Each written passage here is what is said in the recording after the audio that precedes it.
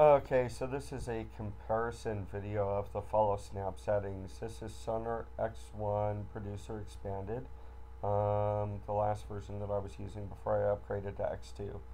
So, if you come on a piano roll view, this is just a little test project, no data in it. Um, if you go to View, Grid Resolution, Follow Snap Settings, set to On, and if you come back up to Musical Snap Time, and change it, it changes in the grid right away. You can see the snap settings will always change.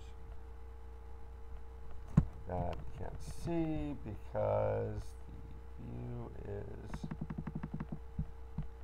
not zoomed in very well.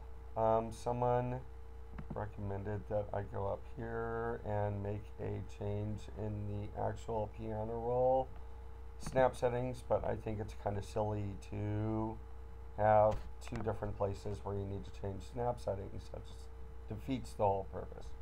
Anyway, so that's the comparison. That's why I think it's a bug in X2, and that's why I filed a problem report.